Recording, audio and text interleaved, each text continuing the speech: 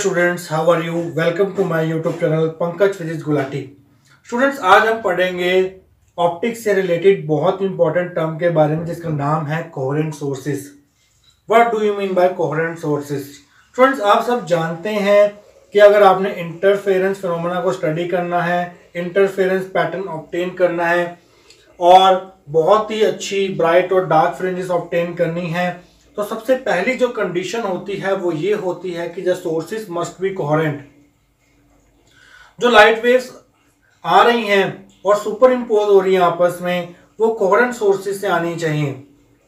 कोई भी दो लाइट वेव्स ऐसे ही आपस में सुपर इम्पोज नहीं हो जाती। उनके बीच में कुछ खास प्रॉपर्टीज़ का मिलना ज़रूरी है।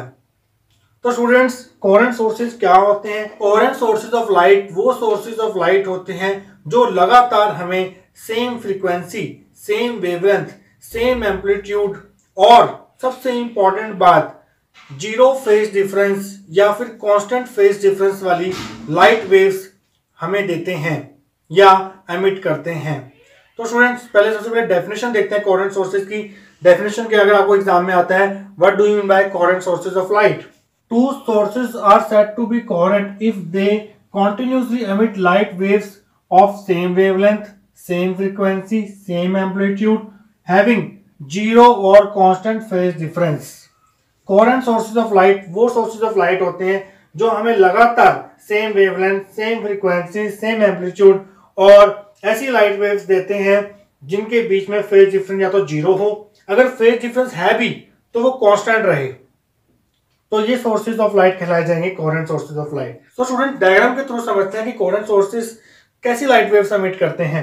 तो स्टूडेंट्स मैंने यहाँ दो लाइट वेव्स बनाई हैं और स्टूडेंट्स आप देख रहे हैं कि दोनों लाइट वेव्स जो है वो सेम फेस में है। जब पहली वेव का क्रस्ट आ रहा है तो दूसरी वेव का भी क्रस्ट आ रहा है। जब पहली वेव का ट्रफ आ रहा है तो दूसरी वेव का भी ट्रफ आ रहा है। तो स्टूडेंट्स आप ये डॉटेड लाइन ड्रॉ करके चेक कर सकते हैं। स्टूडेंट्स ये दोनों सेम फेस में है। इनके बीच में फ़ेज़ डिफरेंस ज़ीरो है।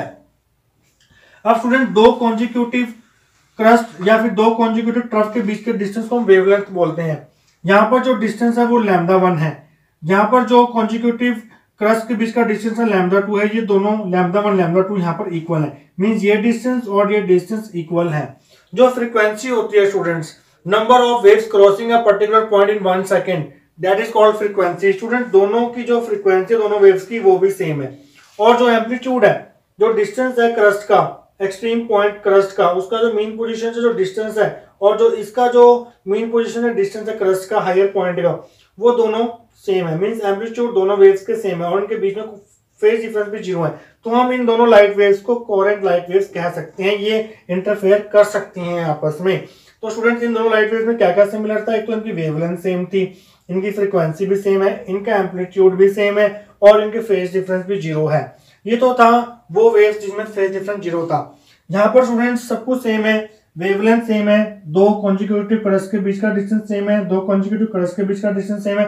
नंबर ऑफ़ साइकिल्स जो पर सेकंड बन रहे हैं वो भी सेम है दोनों वेव्स में। और इनका एम्पलीट्यूड भी सेम है। बट यहाँ पर जो फ़ेज़ डिफरेंस है, वो उनके बीच में फ़ेज़ डिफरेंस है कुछ। वो फ़ेज़ डिफरेंस स्टूडेंट्स इतना है। ये फ़ेज़ डिफरेंस इतना है। अगर थ्रू आउट टाइम अगर ये वेव्स काफ़ी डिस्टेंस ट्रेवल करने के बाद, पाँच किलोमीटर, दस किलोमीटर डिस्टेंस ट्रेवल करने के बाद भी, अगर दोनों के बीच में इतना ही पार डिफरेंस है दोनों वेव्स के बीच में तो हम कहेंगे कि ये दोनों वेव जो है वो कोहरेंट है। अगर ये इतना पार डिफरेंस मेंटेन नहीं कर पाती, ये पार डिफरेंस बढ़ रहा है, कभी कम हो रहा है, कभी बढ़ रहा है तो इन लाइट वेव्स को हम कोहरेंट लाइट वेव्स नहीं बोलेंगे। अगर ये पार डिफरेंस इतना ही रहता है तो हम कहेंगे कि ये जो लाइट वेव्स हैं वो कोहरेंट लाइट वेव्स हैं। तो स्टूडेंट्स सबसे पहली जो कंडीशन होती है इंटरफेरेंस पैटर्न प्रोड्यूस करवाने की the sources must be coherent means वो जो हमने सोर्सेज लिए हैं लाइट के, वो same frequency same amplitude same frequency same wavelength और ज़ीरो और कांस्टेंट फ़ेज़ डिफरेंस वाली लाइट एमिट ज़रूर करने चाहिए। तो स्टूडेंट्स ये हैं कॉरेंट सोर्सेज अब हम नेक्स्ट सेक्शन में पढ़ेंगे क्या दो independent sources of light coherent हो सकते हैं। अगर हो सकते हैं तो क्यों? अगर नहीं हो सकते तो क्यों? तो स्टूडेंट क्वेश्चन ये था कि क्या दो independent sources of light coherent sources of light कहलाए जा सकते हैं? क्या दो independent sources of light interference phenomena show कर सकते हैं? तो आंसर है नो स्टूडेंट्स आप बाज़ार जाइए और दो सेम वॉट के सेम ब्रांड के सेम कंपनी के बल्ब ले आइए। जैसे मैंने फिलिप्स के दो बल्ब लिए, साठ वॉट साठ वॉट का। सिक्सटी सिक्सटी वॉट्स के बल्ब हैं। दोनों सेम कंपनी के हैं फिलिप्स के हैं, दोनों ही मैंने एक शॉप से खरीदे हैं। तो स्टूडेंट्स क्या जो ये लाइट वेव जो ये दोनों बल्ब सबमिट करेंगे, क्या वो कोहरेंट होंगी? तो आंसर है नो ये जो बल्ब लाइट वेव सबमिट करेंगे, वो उनकी फ्रीक्वेंसी सेम हो सकती है, उनका एम्पलीट्यूड सेम हो सकता है, उनकी वेवलेंथ भी सेम हो सकती है बट उन लाइट वेव्स के बीच का जो फ़ेज़ डिफरेंस होगा, वो लगातार वेरी करेगा। वो फ़ेज़ डिफरेंस कांस्टेंट नहीं होगा। और कोरेंट सोर्सेज ऑफ़ लाइट की सबसे बड़ी कंडीशन यही होती है कि कोरेंट सोर्सेज ऑफ़ लाइट उनको कहा जाता है, जो ऐसी वेव सबमिट करें, जिनके बीच में कांस्टेंट फ़ेज़ डिफरेंस हो या फिर ज़ीरो फ़ेज़ डिफरेंस हो, जबकि दो इंडिपेंडेंट सोर्सेज ऑफ़ लाइट कभी भी ऐसा नहीं कर पाएँगे। वो हमेशा ऐसी लाइट वेव सबमिट करेंगे, जिनके बीच में जो फ़ेज़ डिफरेंस है, वो लगातार चेंज होता रहेगा। तो आंसर है no two independent sources of light can never be coherent they can never produce interference fringes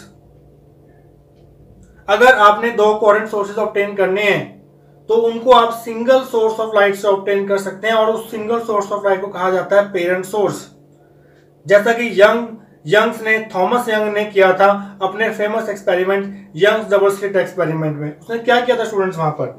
एक सोर्स ऑफ़ लाइट लिया था मोनोक्रोमेटिक सोर्स ऑफ़ लाइट लिया था उसके बाद उसने आगे दो स्लिट्स लगा दी थी।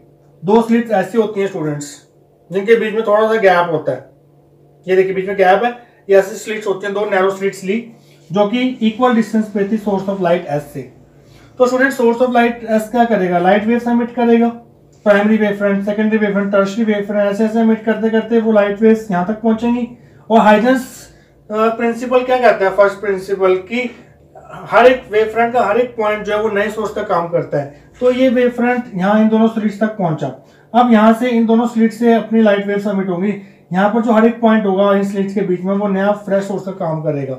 अब यहाँ से जो लाइट वेव सबमिट हो रही है स्लिट नंबर एस से और स्लिट नंबर एस टू से, ये दोनों जो लाइट वेव्स होंगी, ये कोहरेंट होंगी। इनकी फ्रीक्वेंसी सेम होगी, इनका एम्पलीट्यूड सेम होगा, इनकी वेवलेंथ सेम होगी। इनके बीच में या तो ज़ीरो फ़ेज़ डिफरेंस होगा या फिर कांस्टेंट फ़ेज़ डिफरेंस होगा। ये लाइट वेव्स आपस में इंटरफेयर कर सकती हैं, चाहे वो कंस्ट्रक्टिवली इंटरफेयर करें, चाहे वो डिस्ट्रक्टिवली इंटरफेयर करें।